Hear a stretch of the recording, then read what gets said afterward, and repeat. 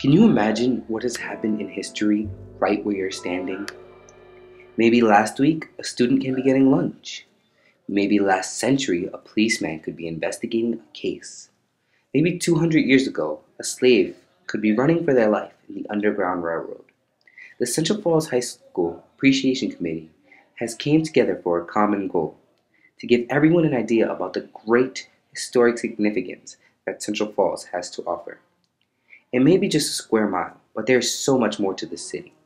With the help of two Central Falls High School teachers, we have worked to make the block that encompasses the Central Falls High School, the Central Falls Housing Authority, and many other houses a historic district.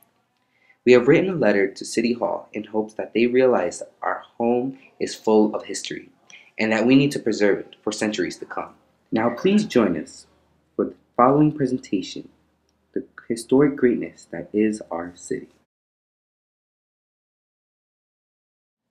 Pierce Park today is known for its baseball fields and river view. But do you know what happened there in the 1600s? In 1676 to be exact, the park that is used for recreational purposes was the site of an ambush during King Philip's War. King Philip's War, sometimes called the First Indian War, was an armed conflict between Native American inhabitants of present day New England and English colonists with their Native American allies. The battle was one of the biggest defeats of the colonial troops during King Philip's War, with nearly all the soldiers being killed in the battle, including Captain Michael Pierce. He led 60 Plymouth colonial troops and 20 Wampanoag Christian Indians into what is known as Pierce Park today. They were in search of Narragansett Indians who had burned several Rhode Island towns and attacked Plymouth, Massachusetts during King Philip's War. Nine of the colonists who were among the dead were first taken prisoner, along with the tenth man who survived. These men were allegedly tortured to death by the Narragansetts at a site in Cumberland, Rhode Island.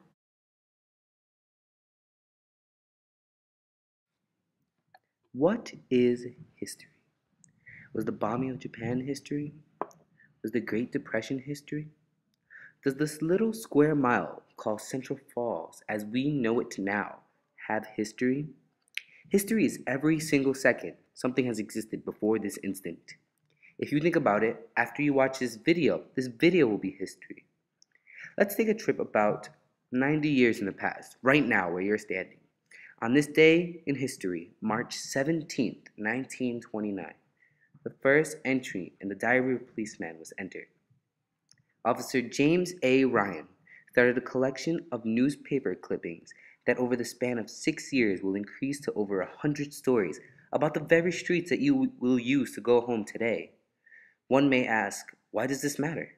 Central Falls has such a rich history, and Officer Ryan exemplifies that fact. Can you believe that this notebook contains artifacts that someone's grandparents or even great grandparents read on the day of publication? The reason that this journal baffles me is that there was no clear intention for the creation of this collection. Even more so, that at the end of the book is a list of names and addresses of houses that someone lives in today. I have come to the conclusion that these stories of robbery, assault, and even murder were all crimes that Officer Ryan had worked on during his time as an officer. In many of these stories, Ryan's name was mentioned under the Department of Investigation or something along those lines. This list of names, however, is harder to decipher. I would undertake the impression that these are officers that he worked with because why else would he have a person's name in a policeman's diary of police work? How incredible is it that even though there aren't many historical places in Central Falls, history is still blooming in the streets? This is why the block that encompasses Central Falls High School, the Central Falls Housing Authority, and many other houses should be a historic district to preserve and put on display the interesting historical and significant events that is and are happening now.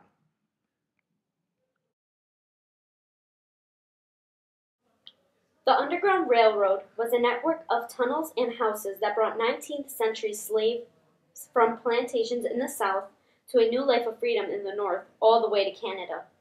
A specific stop on the Underground Railroad was the house of Elizabeth Buffum Chace, Buffum was a Quaker woman who for her entire life not only fought for women's rights, but the rights of African Americans as well. She opened her home to let slaves' families rest on their journey, knowing the great risk to herself and her family. Her home was unfortunately torn down and turned into a factory that is now located on the corner of Hunt Street and Broad Street in Central Falls, Rhode Island. While she housed slaves and hosted important abolitionist leaders, she wrote multiple letters to significant persons, encouraged them to help abolish slavery. Buffum's House is an example of what happens when important historical sites are not preserved. This is why the Central Falls Historical Appreciation Committee has come together to help preserve the current sites that are still standing today.